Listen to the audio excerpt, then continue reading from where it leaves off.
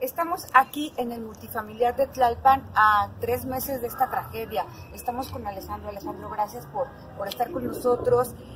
Y bueno, nos está diciendo que este lugar en donde él vivía tiene aproximadamente 90 familias, las que vivían aquí, donde no han recibido nada todavía. Tres mil pesos les dieron por tres meses, eso ya se cumplió, pero no pasa nada, no ha pasado nada.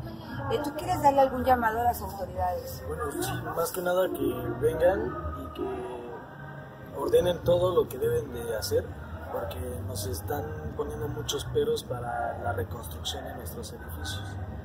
Y bueno, solamente pedimos eso, que nos regrese nuestra vivienda. Ellos están en un campamento que se encuentra a espaldas de, de aquí del multifamiliar, donde también les hacen falta pues muchas cosas. Ya las casas de campaña pues ya dieron lo que tenían que dar.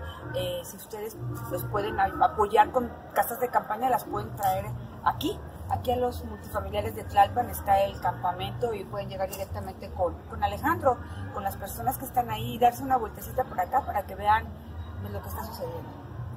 Si se dan cuenta, este edificio es el, el 3. El 3B que está apuntalado, el que se cayó está más para atrás, que obviamente no podemos pasar para allá, pero pues bueno, la tragedia sigue. Muchísimas gracias, gracias. Gracias.